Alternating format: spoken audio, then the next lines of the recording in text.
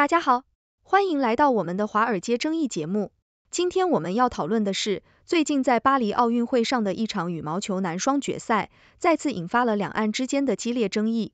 在八月四日，中华台北组合李阳和王麒麟在决赛中击败了中国组合王昶和梁伟铿，成功卫冕奥运金牌。然而，比赛中和赛后的政治立场冲突，让两岸民众在社交媒体上掀起了激烈的争论。台湾球迷展示的“台湾加油”标语和绿色毛巾，引发了大陆观众的不满，甚至发生了标语被抢夺的事件，引发了台湾外交部的强烈谴责。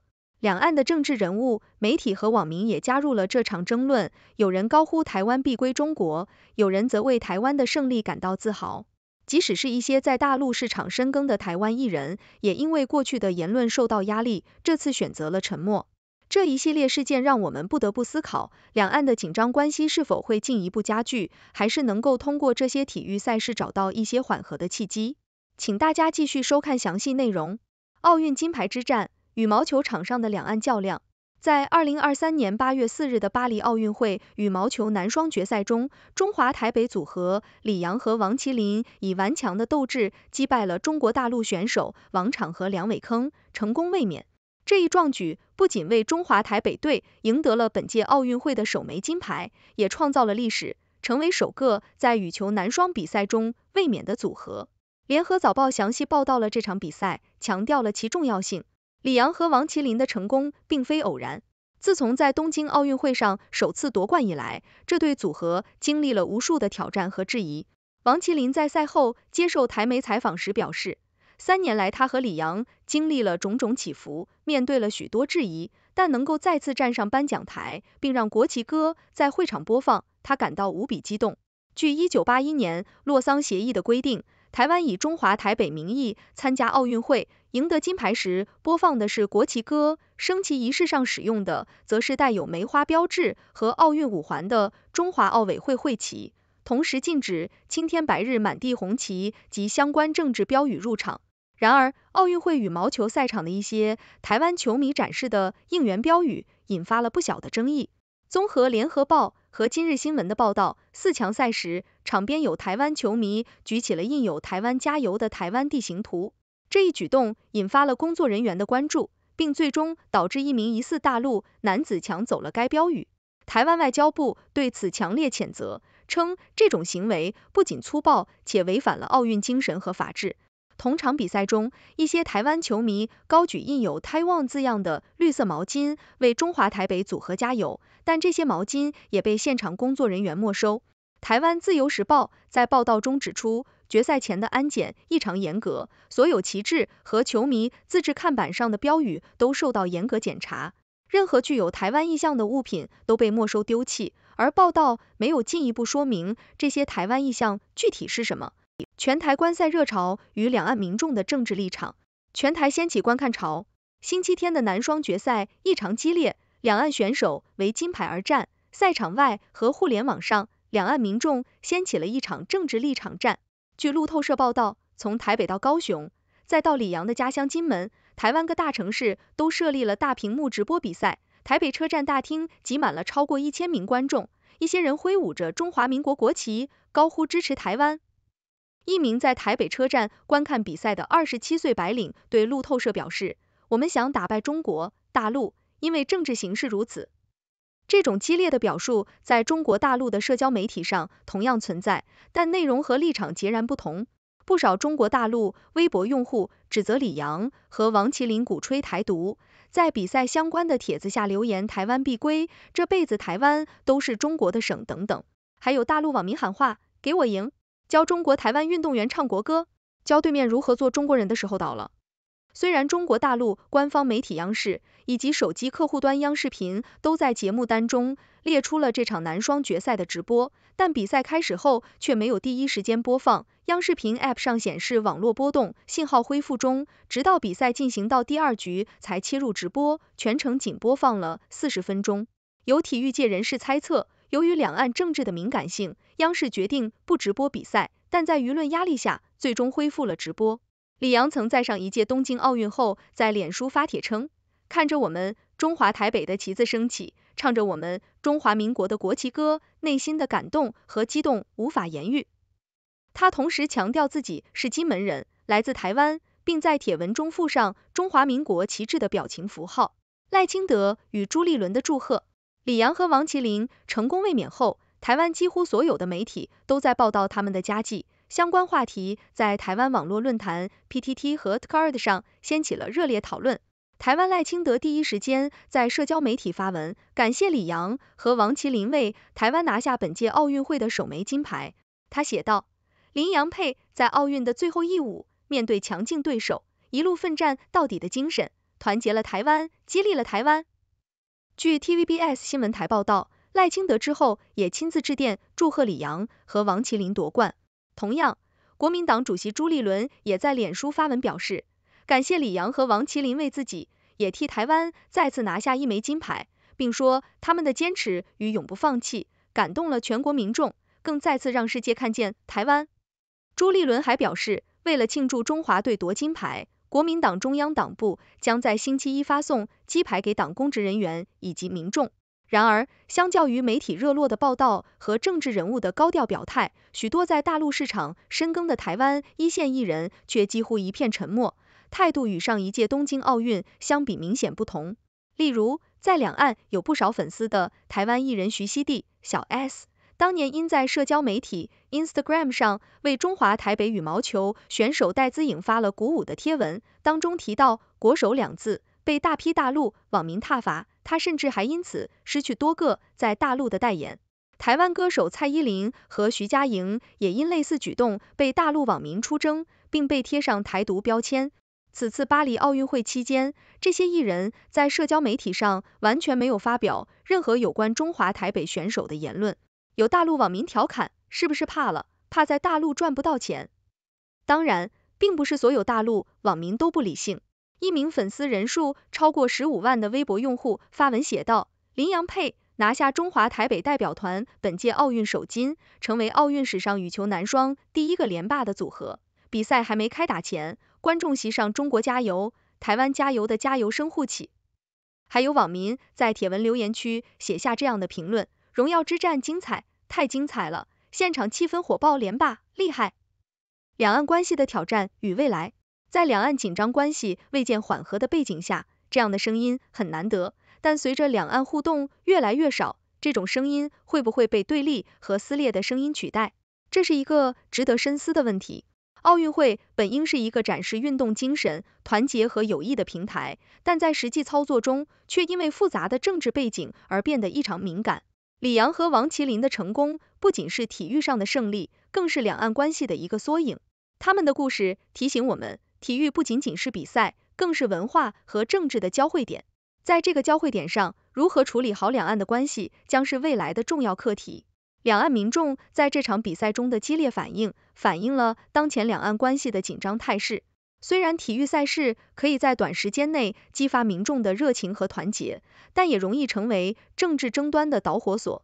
如何在这种复杂的背景下找到一个平衡点，既尊重各自的文化和政治立场？又能共同享受体育带来的快乐和荣耀，将是一个长期的挑战。结语：在巴黎奥运的赛场上，李阳和王麒麟以其卓越的表现为中华台北赢得了荣誉，也再次将两岸的政治争端推上了风口浪尖。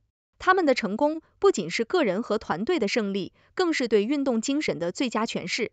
然而，这场胜利背后的复杂背景和两岸民众的不同反应，揭示了当前两岸关系的微妙和敏感。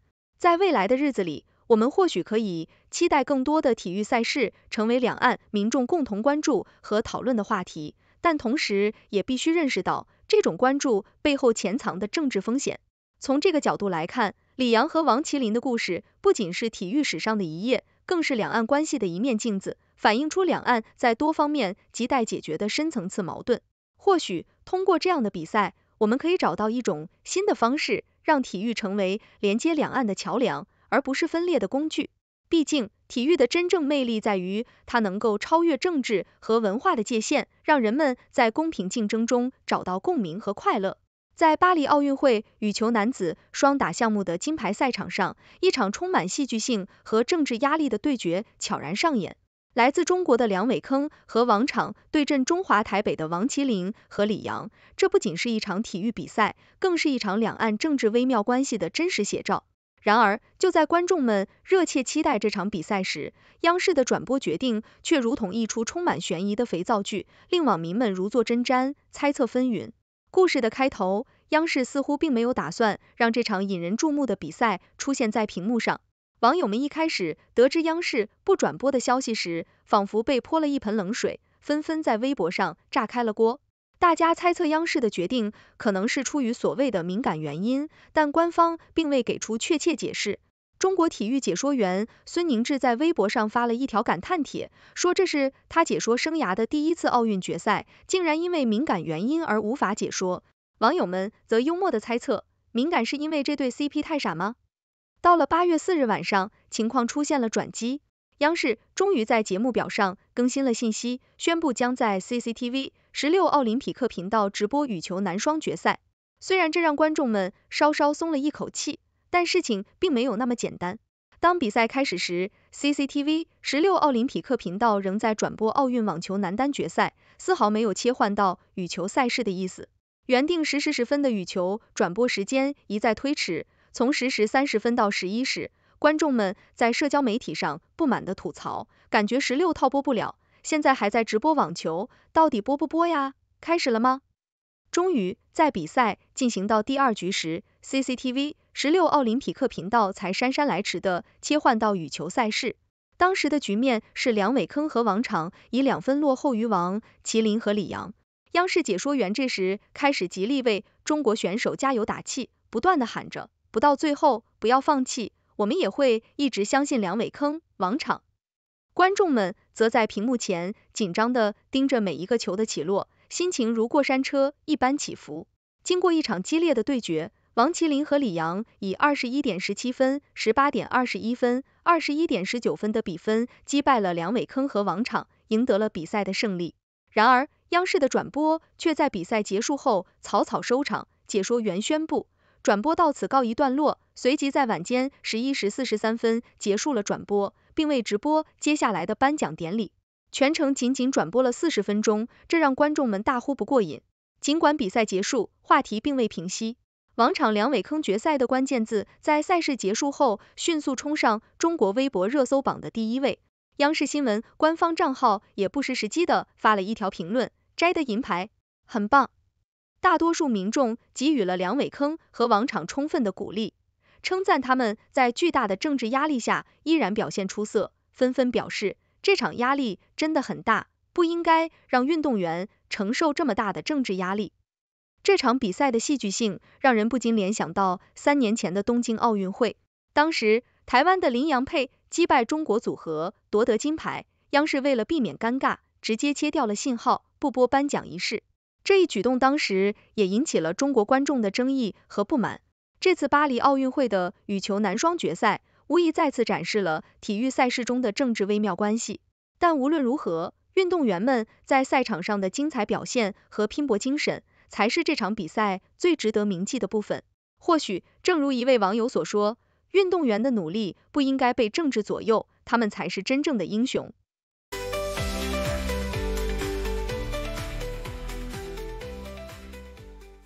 欢迎大家进入六度探索的辩论环节，我们从正反两个角度对本节目进行辩论，请出我们的辩论高手楚天舒、谢琪琪。我是楚天舒，我是谢琪琪。这场奥运羽毛球男双决赛真是让两岸彻底撕裂了。李阳和王麒麟不仅卫冕成功，还带来了如此多的争议。台湾球迷高举“台湾加油”的标语，简直就是在为政治立场呐喊吗？难怪大陆网友看得火冒三丈，喊出教对面如何做中国人的口号。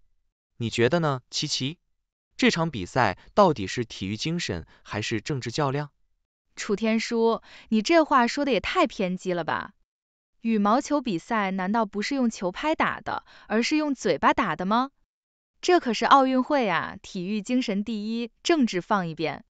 大陆网友干嘛总是把体育比赛和政治挂钩？一场羽毛球比赛而已，竟然搞得央视都不敢直播，直到第二局才切入，生怕金牌被咱们台湾拿去，把面子丢光了吧？琪琪，你说的轻巧，但你看看，连台湾的外交部都出来谴责大陆抢夺标语，摆明了是政治干预。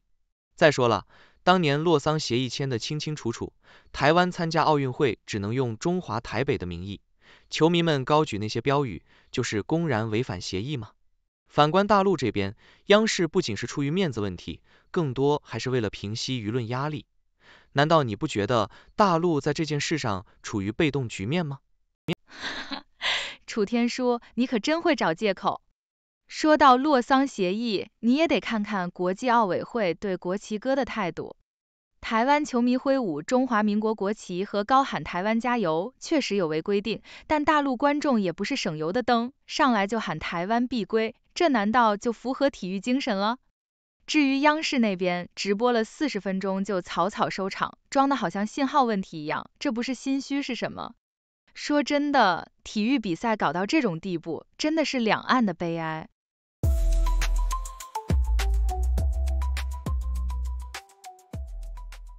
谢谢大家收看六度探索，这是一个由科学家、经济学家、媒体人。工程技术人员合作建立的新型媒体，网友与六度 AI 参与合作完成各种内容，这些内容不能作为任何决策或法律的意见。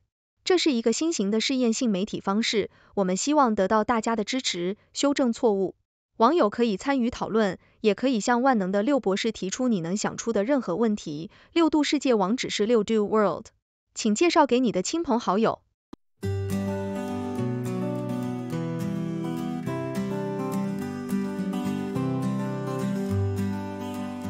Got a question in your mind. We'll find the answer,